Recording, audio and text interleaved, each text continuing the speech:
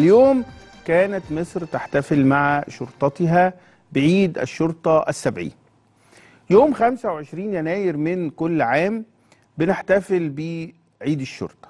هذا اليوم الحقيقة آه، له دلالات ومعاني كثيرة جدا بيتم التأكيد عليها كل عام لأن إحنا وإحنا بنواجه أخطار من كل اتجاه بنبقى محتاجين إن إحنا نأكد على معاني بعينها. على دلالات بعينها.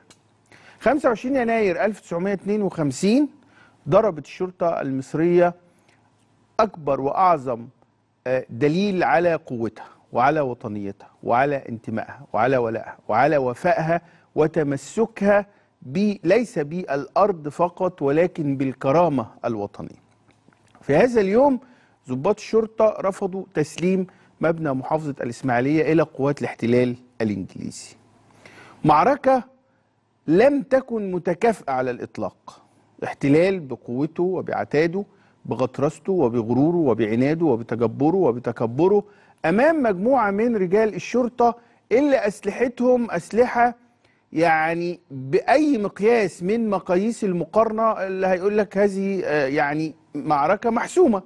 يعني الناس هتقاوم إيه لكن ظل رجال الشرطة المصرية يقاومون حتى اللحظة الأخيرة. لو أنت لما تيجي تبص تلاقي في عندك خمسين شهيد وثمانين جريح في هذه المعركة اللي كان نتيجتها مصر خرجت مرفوعة الرأس. الشرطة المصرية خرجت مرفوعة الرأس. وهو ده المعنى اللي إحنا بنفضل ماسكين فيه إنه آه يعني العمود الفقري لهذا البلد اللي هو متمثل في جيشها ومتمثل في شرطتها طول الوقت بيبقى عندهم هذا المعنى واضح. إن أنا لا أفرط في أمن هذا البلد ولا أفرط في كرامة هذا البلد ولا أفرط في استقرار هذا البلد. هذا اليوم هو يوم جدير بالفعل بإن إحنا نحتفل فيه بعيد الشرطة. وعايز أقول لحضراتكم كمان على نقطة مهمة جدا إنه لما حاول البعض سرقة هذا اليوم وانتزاعه وتنظيم يعني مظاهرات فيه بالعند في الشرطة في الآخر الشعب المصري انتصر لشرطته. قامت الشرطة واستعادت نفسها وقويت إلى درجة لا يتخيلها أحد وأصبحت أكثر علمية وأكثر عصرية وأكثر حداثة وكأنها بتقول إنه مهما كانت هناك محاولات للتربص بالشرطة من بره من جوه الا أن الشرطة المصرية ستظل قادرة على المقاومة وتظل قادرة على البقاء. معركة إسماعيلية كمان فيها مهم جدا لأنه ورجال الشرطة بيقاوموا قوات الاحتلال البريطاني ويعني حتى آخر لحظة كان أهالي الإسماعيلية بيقدموا ليهم كل الدعم. وهنا المعنى اللي إحنا عاوزين نفضل متمسكين بيه إنه طول ما أنت جيشك وشرطتك وشعبك ملمومين حوالين بعض ملتفين حوالين بعض محدش هيقدر ابدا لا يكسر البلد دي ولا يقترب من البلد دي ولا يهز ولا يهز أمن البلد دي. فالحقيقة بتبقى فرصة طيبة في هذا اليوم اننا نتقدم بالتحية إلى رجال الشرطة في على مختلف عصورهم. الحقيقة لأن هم أثبتوا طول الوقت أنهم كفء لمعاني الوطنية ومعاني الولاء ومعاني الوفاء ومعاني العطاء لهذا البلد.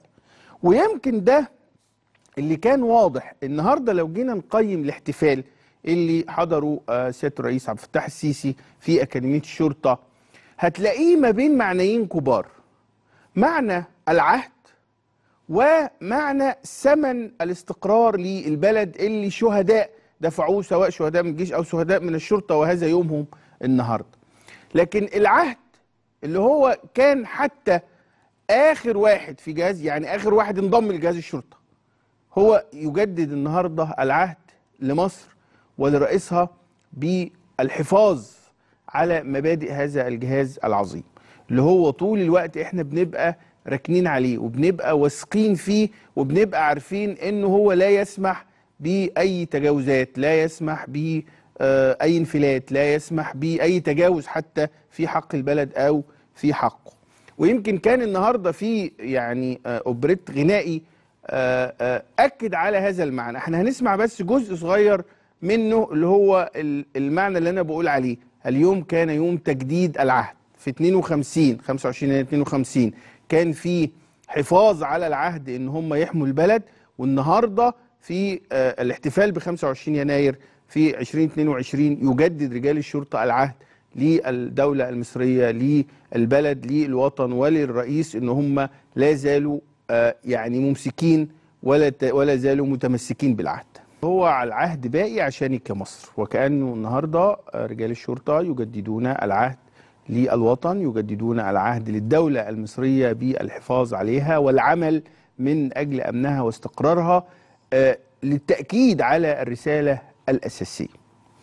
لما اتكلم الرئيس الحقيقة توقف عند قيمة كبيرة جدا. وهنا ال- المعنى الثاني في هذا الاحتفال. إحنا اتكلمنا على المعنى الأول اللي هو معنى العهد المعنى الثاني اللي هو الثمن الذي دفعته مصر من دم أبنائها ومن دم شهدائها. ولأننا في حضرة آه، الشرطة فاحنا بنتكلم عن شهداء الشرطة النهارده.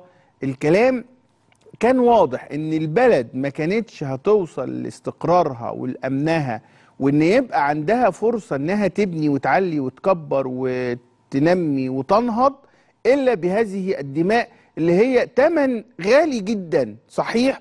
لكن عندما يكون هذا الثمن مقابل استقرار الوطن فإحنا بنعتبره ثمن زهيد. قيمته الإنسانية عالية. قيمته الوطنية إنه الوطن لا يستحق ما هو أكثر من ذلك. وعشان كده أنا بعتبر ما قاله الرئيس في هذه الجزئية يعتبر دستور لنا جميعا لابد أن نتمسك به. خلينا نسمع الرئيس قال إيه. إحنا صحيح ال- الإنجاز اللي تم فيما يخص دحر الإرهاب كان إنجاز كبير قوي وكمان كان ثمنه كبير قوي.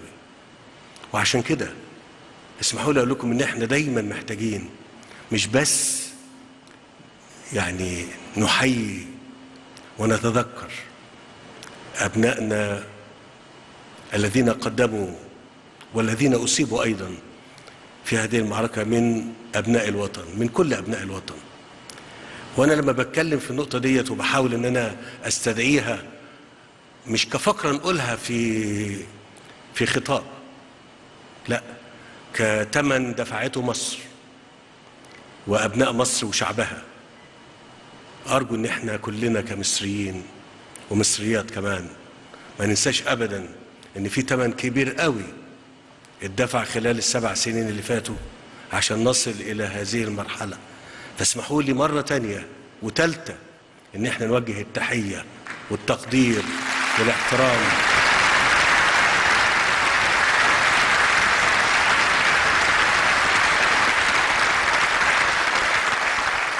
وعايز أقول للأسر الأسر المصرية اللي قدمت الشهيد والمصاب. إحنا مش هننسى ابدا ابدا اللي أنتم عملتوه وقدمتوه بأبنائكم لهذا الوطن مش هننسى. والنسيان هنا مش اعترافا بس بفضلكم وبفضل أبنائكم اللي تم اللي استشهدوا. لا الفضل هنا إن إحنا هيكون تمن هذه الشهادة وهذه التضحية هو بناء مصر القوية الجديدة. هو ده اللي أنا بس عايز أكده معاكم عشان تبقوا عارفين إن الثمن اللي اتدفع ده هو ثمن كبير صحيح ولا يعوض صحيح. لكن عزائكم فيه إن هو ثمن لبلد فيها 100 مليون ال 100 مليون دول يعيشوا إن شاء الله في أمان وسلام واستقرار وتقدم. هو ده الدستور الإنساني والدستور الوطني اللي إحنا بنتكلم عليه. إنه لما تعرضت مصر للخطر الكبير جدا زي ما كنا بنقول دايما من منتخب العالم في الإرهاب. مصر كانت ما كانتش بتواجه جماعة بعينها ما كانتش بتواجه آه، آه، يعني آه، مجموعة من الإرهابيين بعينهم. مصر فعليا كانت بتواجه منتخب العالم في الإرهاب. يعني ناس من جنسيات مختلفة وأجهزة مخابرات لدول مختلفة كانوا مستهدفين هذا البلد. ولما كنا بنقول إن كل واحد في الجيش وكل واحد في الشرطة ده آه، بنتعامل معاه إنه شهيد تحت الطلب لأنه في أي لحظة آه، يمكن أن يجد نفسه في موقف هو لن يبخل على مصر بروحه في هذا الموقف. فهذا الدستور بيقول إنه البلد دي ما استقرتش البلد دي ما استردتش أمنها البلد دي ما قدرتش تبني وتعمر إلا لأنه في ناس لم يبخلوا عليها بدمهم ودفعوا هذا الدم تمن كده عشان بس زي ما الرئيس بيقول في 100 مليون يعيشوا في أمان. أسر الشهداء الحقيقة لما بنتكلم معاهم أو بنقابلهم في مناسبات مختلفة بتلاقي كده ربنا منحهم هدوء وسكينة ورضا واقتناع فعلي بما يقوله الرئيس بأنه هم ولادهم أرواحهم ما راحتش هدر. ولذلك أنا كنت دايما بقول إيه؟ أقول يعني أكبر عزاء لأهالي الشهداء إن إحنا نحافظ على البلد اللي ولادهم دفعوا دمهم عشان البلد دي تفضل متماسكة. لأنه لو البلد دي ما فضلتش متماسكة وأمنها ضاع واستقرارها ضاع وما قدرناش نت- نتقدم في اللحظة دي بس ممكن أهالي الشهداء يبقوا شايفين إنه دم ولادهم راح هدر. لكن طول ما البلد واقفة على رجليها هيبقوا عارفين إنه الثمن اللي اتدفع ده ليه جدوى. الثمن اللي اتدفع ده في مقابل أهو هم شايفينه شايفينه آه، آه، في نفسهم شايفينه في ولاد ولادهم الشهداء اللي ماتوا وشايفينه في بلد الحمد لله ماشية ليه الأمام دائما. صحيح هم آه، ال- ال- الفقد صعب والفراق صعب والحرمان من ولادهم صعب لكن في لحظة معينة لما بتلاقي إنه روحك دي أو دمك ده بتديه للبلد آه، بيبقى حاجة آه، بسيطة جدا عشان بلدنا كلها. كلام مش كلام انشا لأنه أنا أعتقد إنه أي واحد ممكن يلاقي نفسه في الموقف ده هيفكر بنفس الطريقة. يعني ممكن الناس يقول لك إيه آه آه لا أنتوا بتقولوا الكلام كده في الإعلام كلام إنشائي. أنا أعتقد إنه كل واحد فينا لو لقى نفسه في الموقف ده لن يتردد ابدا إنه يفدي البلد. طيب خلونا نستمع من آه، دكتورة نجلاء سامي زوجة الشهيد العميد عامر عبد المقصود. دكتورة نجلاء أهلا بيك يا فندم. أهلا بحضرتك يا أستاذ محمد. أهلا بيك. يعني في في هذا اليوم يوم الشرطة والنهاردة كان في يعني التكريم واحتفاء وتذكير بالشهداء وتضحيتهم. لما تابعتي هذا الاحتفال النهارده يعني إيه المعاني اللي تجسدت عندك وإيه الذكريات اللي تجددت أمامك؟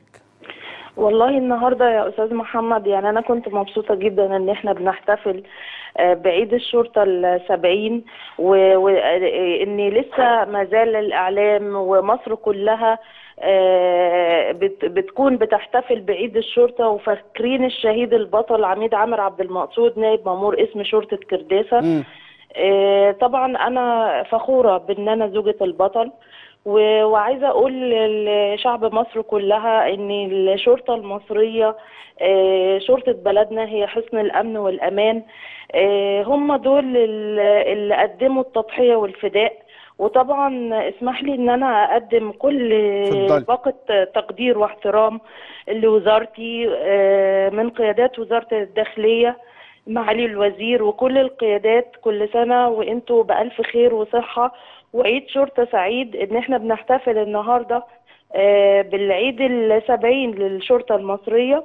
وبنشوف قد إيه فخامة السيد الرئيس النهاردة في من خلال التكريم وبكائه لما شاف أبناء الشهداء. صحيح صحيح. فده شيء مشرف جدا جدا.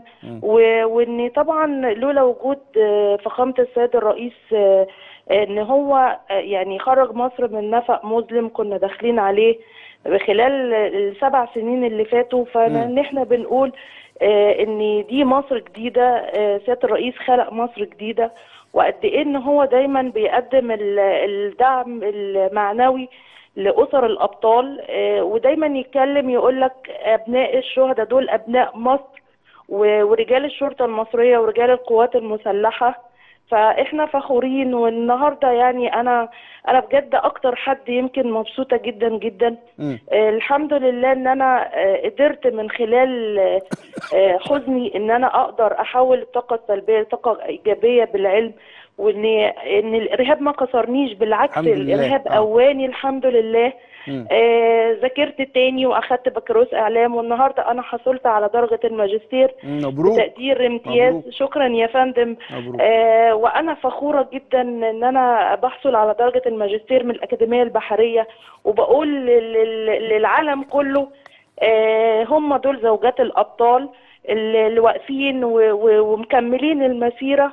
وإن أنا بنت وزارة الداخلية وفخورة آه إن أنا إن أنا أكون جزء لا يتجزأ من هذا الكيان العظيم. صحيح بشكرك جدا دكتورة نجلاء سامي آه، زوجة الشهيد العميد عامر عبد المقصود.